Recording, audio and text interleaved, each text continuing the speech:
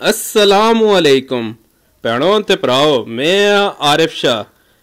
ਅੱਜ ਤੁਸਾਂ ਵਾਸਤੇ ਕਹਿਣ ਕੇ ਆਇਆ ਸ਼ਨਵਾਰੀ ਚਿਕਨ ਕੜਾਈ ਦੀ ਰੈਸਿਪੀ ਉਹ ਵੀ ਇਨਕੋ ਜ਼ਬਾਨਾ ਵਿੱਚ ਸਭ ਤੋਂ ਪਹਿਲੇ एक कढ़ाई के इंसा उसमें पासा एक लीटर तेल एक किलो तेल पाना असा और उसमें नाल ही मुर्गी पा छोड़सा ने एक किलो मुर्गी का गोश्त असा धो के सुका के शामिल करके दे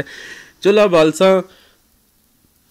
ਤੇਜ਼ ਅੱਗੀ ਤੇ ਸੰਸਾ ਪਕਾਣਾ ਨਾਲ ਹੀ ਲੂਣ ਪਾ ਛੋੜ ਸਾਂ। ਇੱਕ ਤੋਂ ਡੇਢ ਚਮਚ ਆਪਣੇ ਜ਼ਾਇਕੇ ਦੇ ਹਿਸਾਬ ਨਾਲ ਤੁਸੀਂ ਲੂਣ ਕਾਟ ਜਾਂ ਜ਼ਿਆਦਾ ਕਰ ਰੱਖਦੇ ਹੋ।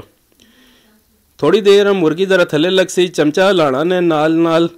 ਜਿਸ ਵਕਤ ਅਸਾਂ ਇਤਨੀ ਦੇਰ ਤਾਣੀ ਅਸਾਂ ਪਕਾਣਾ ਕਿ ਇਸ ਦਾ ਪਾਣੀ ਖੁਸ਼ਕ ਹੋ ਜੁਲੇ।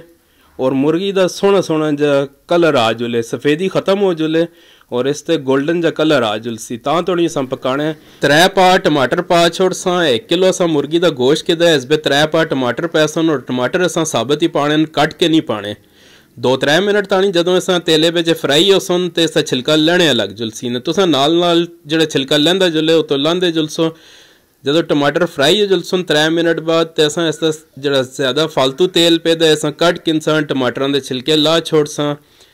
ਔਰ ਇਹਨਾਂ ਕੱਚੀ ਤਰ੍ਹਾਂ ਤੇ ਅਸਾਂ ਮਿਕਸ ਕਰਨਾ ਹੈ, ਦੁਬਾਰਾ ਚੁੱਲ੍ਹੇ ਤੇ ਰੱਖ ਕੇ ਅਸਾਂ ਪਕਾਸਾਂ ਟਮਾਟਰਾਂ ਫੇਂਦੇ ਜੁਲਸਾਂ ਸਾਰਿਆਂ ਨਾਲ ਨਾਲ। ਇਸੇ ਨਾਲ ਇਸ ਦੀ ਗ੍ਰੇਵੀ ਬਣਸੀ ਨੇ, ਇਸ ਵਿੱਚ ਅਗਰ ਤੁਸੀਂ ਗ੍ਰੈਂਡ ਕਰਕੇ ਪਾਸੋ ਤੇ ਇਹਦਾ ਜ਼ਾਇਕਾ ਨਹੀਂ ਆਂਦਾ ਸ਼ਨਵਾਰੀ ਕੜਾਈ ਇਸੇ ਤਰੀਕੇ ਨਾਲ ਬਣਾਈ ਜਲਦੀ ਹੈ ਨਾਲ ਹੀ ਹੁਣ ਜਦੋਂ ਅਸਾਂ ਟਮਾਟਰ ਗਲ ਗਏ ਨੇ ਤੇ ਤਰੇ ਚਾਰ ਸਾਵੀਆਂ ਮਿਰਚਾਂ ਪਾ ਛੋੜਸਾਂ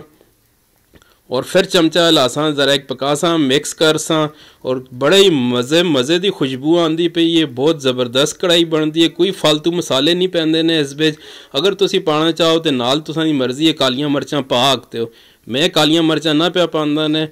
तो ये इसी तरीके नाल बहुत ही आसान सादी तो मज़े की कढ़ाई बनती है तो ज़रूर ट्राई करो वीडियो पसंद आवे